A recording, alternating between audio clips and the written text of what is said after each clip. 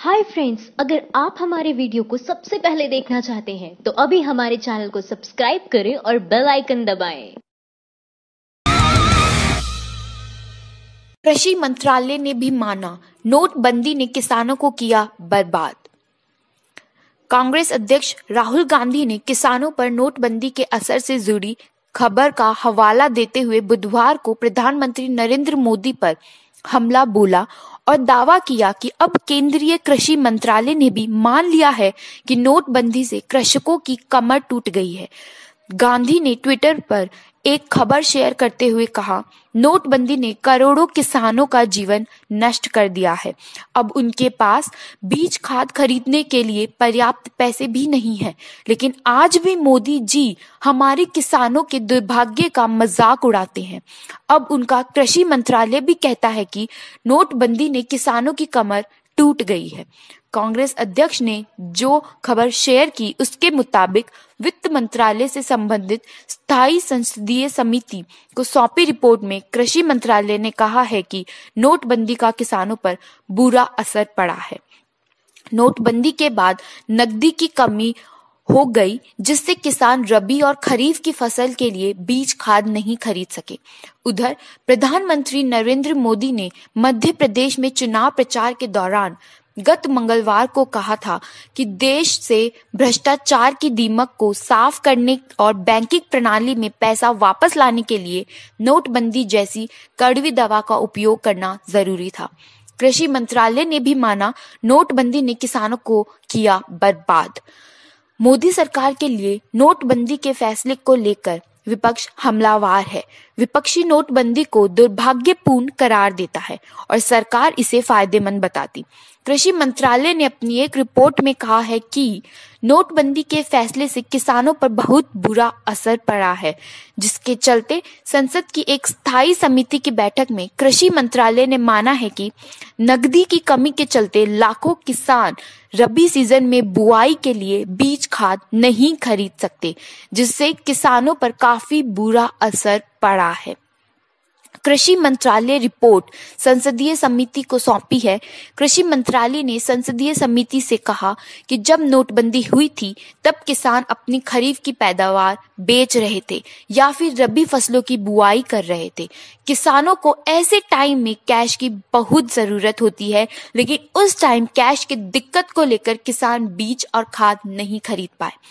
मंत्रालय ने बताया कि कैश की किल्लत के चलते राष्ट्रीय बीज निगम के लगभग एक लाख अट्ठाईस हज़ार क्विंटल गेहूँ के बीज नहीं बिक पाए। हालाँकि सरकार ने बाद में गेहूँ के बीज खरीदने के लिए हज़ार और पाँच सौ रुपए के पुराने नोटों के इस्तेमाल की छूट दे दी थी। कृषि मंत्रालय की रिपोर्ट में कहा गया कि इस छूट के बाद भी बीज के बिक्री में कोई खास तेज़ी नहीं आई थी। उधर मंत्रालय ने समिति के समक्ष नोटबंदी की तारीफ़ करते हुए अपनी रिपोर्ट में कहा कि नोटबंदी के बाद क्वार्टर में रोज़गार के आंकड़ों में बढ़ोतरी दर्ज की गई थी। एमपी में बोले मनमोहन, रिमोट से नहीं चलती थी मेरी सरकार।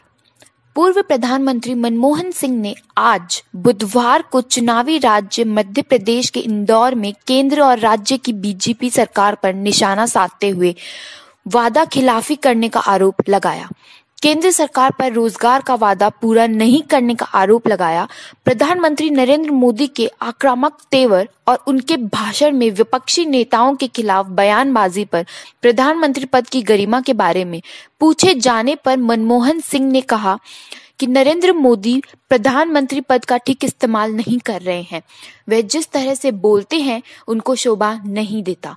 खासकर जब वह कांग्रेस शासित राज्य में जाते हैं और वहाँ खूब बोलते हैं, जो ठीक बात नहीं है। उन्हें पद की गरिमा रखनी चाहिए।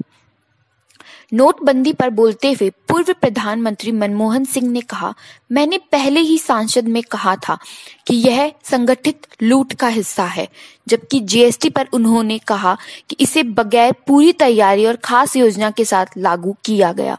दस साल तक केंद्र में यूपीए सरकार का नेतृत्व करने वाले मनमोहन सिंह ने खुद को रिमोट सरकार कहे जाने की बात को खारिज करते हुए कहा कि हमारी सरकार की कोशिश यह थी कि सबको साथ लेकर चला जाए।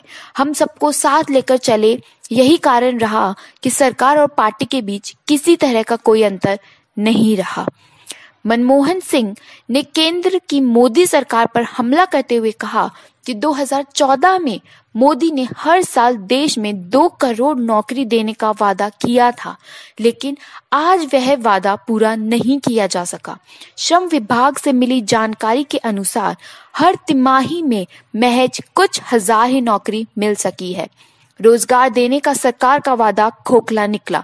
मध्य प्रदेश के युवाओं को भी रोज़गार नहीं मिल रहा। उन्होंने केंद्र सरकार की आलोचना करते हुए कहा कि मोदी जी ने हर किसी के बैंक खाते में पंद्रह पंद्रह लाख देने का वादा किया था। लेकिन इस बारे में क्या हुआ? मोदी सरकार भ्रष्टाचार को बढ़ावा दे रही है। हमने राफेल डील पर जेपीसी की मांग की थी, लेकिन अभी तक इस पर कुछ नहीं हुआ। उन्होंने राज्य सरकार पर निशाना साधते हुए कहा कि मध्य प्रदेश में किसानों की समस्या बहुत ज़्यादा है। राज्य सरकार ने किसानों की समस्या पूरा करने में नाकाम रही है। राज्य में व्यापम जैसा महा घोटाला हुआ। उन्होंने कहा कि हमारी सरकार ने कभी भी, किसी भी सरकार के साथ भेदभाव नहीं किया। हमने मध्य प्रदेश के साथ कभी भेदभाव नहीं किया। शिवराज सिंह चौहान इसके गवाह हैं। राफेल डील को लेकर पूर्व प्रधानमंत्री ने केंद्र सरकार को निशाने पर लिया और कहा कि राफेल मामला दाल में काला ही काला नज़र आता है। इसकी निष्पक्ष जाँच की जानी चाहिए। जाँच के लिए जेपीसी गठित की जाए। राफेल को लेकर कांग्रेस अध्यक्ष राहुल गांधी लगातार प्रधानमंत्री नरेंद्र मोदी पर हमला करते रहे हैं।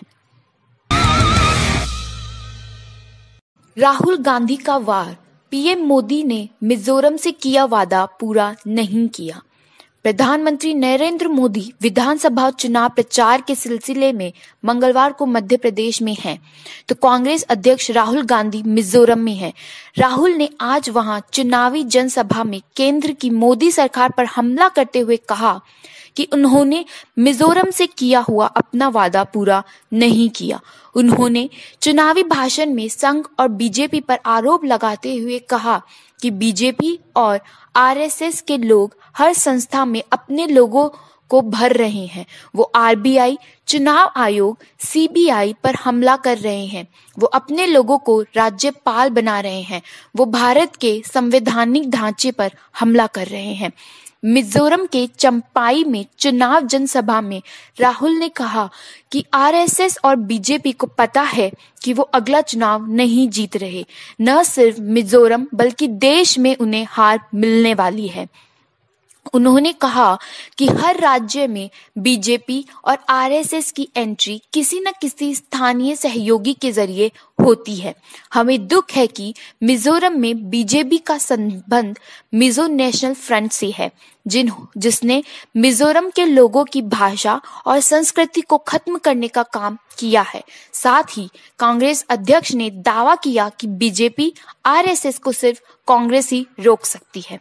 कांग्रेस अध्यक्ष ने एक बार फिर राफेल डील का मुद्दा उठाया और कहा कि प्रधानमंत्री नरेंद्र मोदी ने निजी तौर पर अनिल अंबानी को तीस हज़ार करोड़ रुपए दिए हैं, लेकिन उन्होंने मिजोरम को उसका बकाया नहीं दिया, जबकि राज्य की कांग्रेस सरकार ने शानदार काम किया था। प्रधानमंत्री मोदी पर मिजोरम के साथ छलावा करने का आरोप लगाते हुए राहुल ने कहा कि उन्होंने मिजोरम के लिए जो वादा किया था, उसे पूरा नहीं किया। इस कारण कांग्रेस पर दबाव काफ़ी बढ़ गया है। हम मिजोरम को पूर्वोत्तर भारत का हब बनाना चाहते हैं। राहुल गांधी ने कहा 2008 में मिजोरम की प्रति व्यक्ति आमदनी सत्तावन हज़ार रुपए सालाना थी और आज ये सवा लाख रुपए हैं, जो राष्ट्रीय औसत से 20 प्रतिशत ज़्यादा है। मिजोरम उन चंद राज्यों में शुमार है जहाँ कांग्रेस सत्तारूढ़ है। यहाँ पर पिछले 10 सालों में कांग्रेस शासन में है। कांग्रेस अध्यक्ष ने यह कहा कि राष्ट्रीय स्तर पर बीजेपी, आरएसएस और कांग्रेस के बीच विचारधारा की लड़ाई है। कांग्रेस पार्टी का मानना है कि भारत को इसके लोग चलाते हैं और देश में विभिन्न संस्कृतियों को अपनी अभिव्यक्ति की आज़ादी होनी चाहिए। हमारा विश्वास है कि विभिन्न संस्कृति और भाषा के ज़रिए देश मज़बूत होता है और हम इसका समर्थन भी करते हैं। राहुल गांधी ने कहा, पिछली बार जब मैं यहाँ आया था तो मैंने यहाँ मेडी कॉलेज बनवाने की बात कही थी। मुझे खुशी है कि कांग्रेस ने राज्य को पहला मेडिकल कॉलेज और शोध संसाधन देने का अपना वादा पूरा किया। साथ ही यह भी कहा कि हमने चंपाई में हॉर्टिकल्चर कॉलेज का निर्माण किया, जिससे लोग बड़े स्तर पर बागवानी करने को प्रोत्साहित हों और खेती कर सके। कांग्रेस ने मिजोरम को पहला मेडिकल कॉलेज और रिसर्च सेंटर दिया। उन्होंने कहा कि पिछले पाँच सालों में खेती और बागवानी में 45 फ़ीसदी की वृद्धि हुई है। अनाज की खेती में 900 फ़ीसदी का बम्पर इजाफा हुआ। कांग्रेस अध्यक्ष राहुल गांधी के अलावा बीजेपी में उनके समकक्ष अमित शाह भी आज मिजोरम में हैं और वहाँ की चुनावी रैली को संबोधित करने वाले हैं। राज्य में 28 को होने वाले मतदान से पहले कांग्रेस और बीजेपी दोनों दल मतदाताओं को अपने पक्ष में वोट करने के लिए लुभाने में जुटे हैं। आरबीआई ने दिए नोटों के लेन देन को लेकर पाँच बड़े निर्देश। हर नागरिक को जानना बहुत ज़रूरी। आरबीआई बोर्ड की बैठक में बहुत सारे बड़े फैसले लिए जाए हैं, जा रहे हैं, जो हर एक देशवासी के लिए जानना बहुत ही ज़्यादा ज़रूरी है। पहला, ऐसे में जो नोट बहुत ही बुरी तरीके से कटा हुआ है या फिर जला हुआ है तो इस प्रकार के नोट को बैंक नहीं लेगी। इसके अलावा अगर किसी नोट पर नारे या फिर राजनीतिक संदेश लिखा हुआ है तो उस नोट को भी बैंक नहीं लेगी। दूसरा, आरबीआई के नियमों के अनुसार अगर आपके पास किसी भारतीय करेंसी का 80 फ़ीसदी भी टुकड़ा है तो ऐसे नोटों को बैंक आसानी से स्वीकार करेगी। ऐसे नोटों को बदलवाने के लिए आप अपने नजदीकी बैंक शाखा में जा सकते हैं और इसके लिए आपको बैंक का ग्राहक होना भी ज़रूरी नहीं है। आरबीआई की इस बैठक में यह साफ़ कर दिया गया है कि केंद्र सरकार और आरबीआई के बीच किसी तरह का कोई टकराव नहीं है। केंद्रीय रेल मंत्री पीयूष गोयल ने इस बात को लेकर अपनी सफ़ाई दी। उन्होंने कहा कि सरकार ने आईबीआई के 9.78 लाख करोड़ की अतिरिक्त कोष से एक पैसा भी नहीं मांगा है। चौथा आरबीआई के नियमों के मुताबिक 20 फ़ीसदी से ज़्यादा कटे हुए नोटों की आधी रकम मिलेगी। अगर आपके पास भारतीय करेंसी का एक नोट है जो 20 फ़ीसदी से ज़्यादा कटा हुआ है तो आपको उस नोट की आधी रकम दी जाएगी। आरबीआई ने इस नियम को इसलिए लागू किया है क्योंकि कटे हुए नोटों को रिपेयर करने में काफ़ी खर्चा हो जाता है। पांचवा आरबीआई ने सोमवार को हुए बैठक में कहा कि वह सरकारी प्रतिभूतियों की खरीद के ज़रिए 22 नवंबर को अर्थव्यवस्था में आठ हज़ार रुपए, करोड़ रुपए डालेगा। इससे देश में एनबीएफएससी के नकदी संकट को दूर किया जा सकेगा और कारोबारी तेज़ी के लिए कर्ज देने का काम शुरू किया जाएगा। जीमेल के खाते से नहीं होगी कोई गड़बड़ी। आरबीआई ने उठाया एक कदम, नई दिल्ली। अक्सर हमें यह देखने को मिलता है कि हर दिन किसी न किसी के साथ धोखाधड़ी हो रही है और यह धोखाधड़ी जीमेल खाते में लिंक भेजकर की जाती है। जीमेल खाते में ऐसे ऑफर्स का लालच दिया जाता है, जिसे देखने के बाद जीमेल उपभोक्ता तुरंत उस लिंक पर क्लिक करता है और बाद में उससे उनकी निजी जानकारियाँ मांगी जाती है। यह जानकारी आपके बैंक खाते और आधार कार्ड से संबंधित होती है और इसके साथ ही आपके मोबाइल पर ओटीपी भेजकर उस लिंक में प्रवेश करने को कहा जाता है।